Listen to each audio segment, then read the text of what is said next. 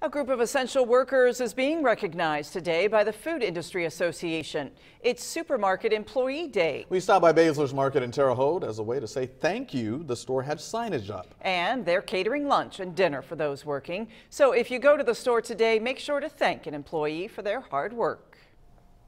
So tonight's weather quiz brought to you by Dorset